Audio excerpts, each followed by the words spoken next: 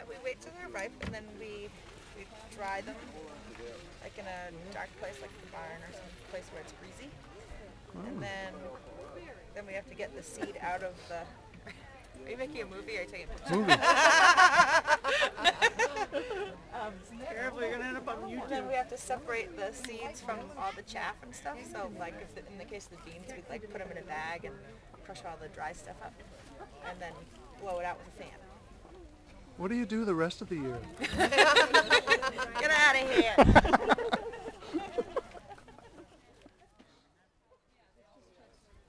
Here we are at the Fedco Seeds booth at the Common Ground Fair. Here's the backs of Jean and Michelle. Kinds of people here at the Fedco Seeds booth.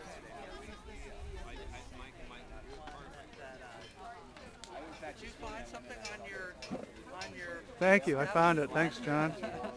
Wow, this is the uh, Fedco tr- apples display. I got away and see if I can get them all in there. These are the most common varieties in old Maine orchards. Is what it says on there. On the edge of an old field. And inside the booth, oh look, we have the Fedco trees catalog this year. I haven't seen those yet. And here's some more varieties that you might want to look at. Lots of different varieties of apples. Is it rustic? Is it a dome? Is it one of them hippie liberal things? That's what And here's the display for all the different bulbs. waterline. Do this for as long as possible and then, then just take off. Kindly, cash register, the cash Hey, register person. I, oh, I actually have a, I wrote a song, a dog song. Here we are, the Teltane Farm Nursery booth. They're selling primarily garlic, but also some few apples. Different kinds of garlic Yeah, we're gonna varieties. ask this gentleman. How are you doing? Good, we had a banner year for garlic this year. Good. Except And I can't remember can- what we planted, you know, Uh-huh. we just buy some. Yeah. But sort of the name Russian Red sticks in our craw. Yeah. Is that good? Yeah, it's our Here we are at the main exhibition hall at the Common Ground Fair. And in addition to that, you will see that we have a sundial here made of stone. A lot of people around it. Just might want to see the sundial. Then, according to the sundial, it is now a little after 10 o'clock. According to this stone.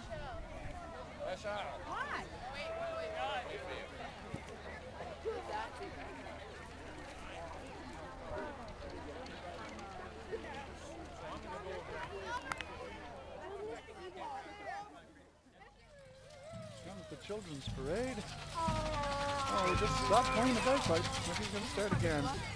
We are all we all belong in the garden. That's what it says the children's garden parade.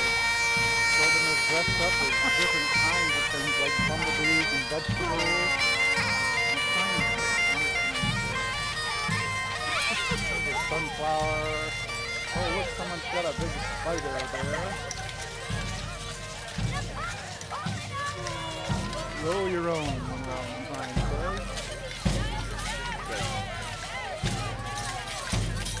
Give chance.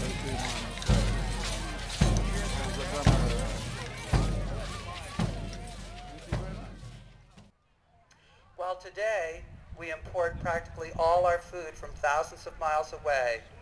Back then, Palermo residents produced virtually all their own food right here.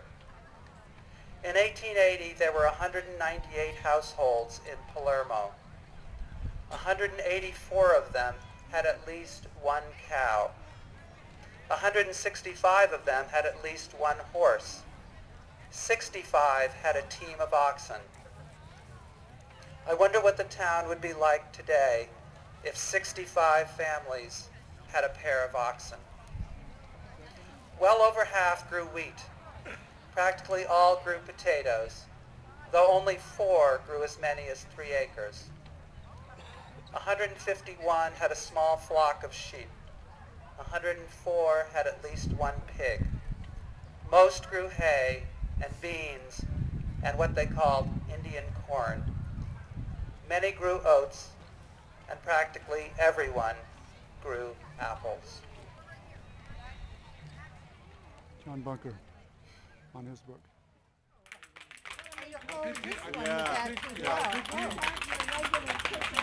No, they're not. Even uh, I made these for that. Well, yeah, I, I do make them for salad. Yeah. Forty-five. They, because you can, uh, you get, you can get like all kinds of different Tom, Tom talking spoons.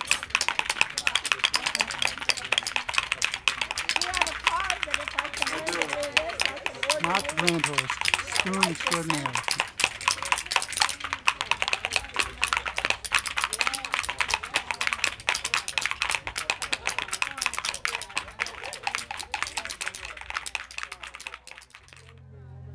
Ah, here we are. Food booths, food uh, selling booths here.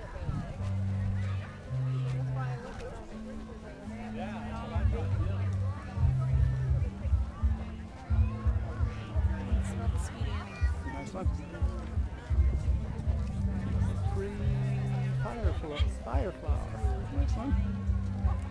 This is painted pepper. Yogurt.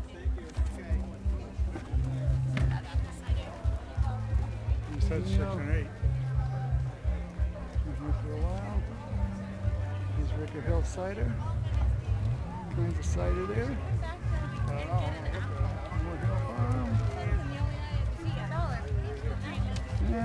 So concludes. We're coming out the Rose Gate down here. I saw uh, Jim and Cindy bicycle. Wow, I'll show you the sign. It says Rose Gate. Hmm.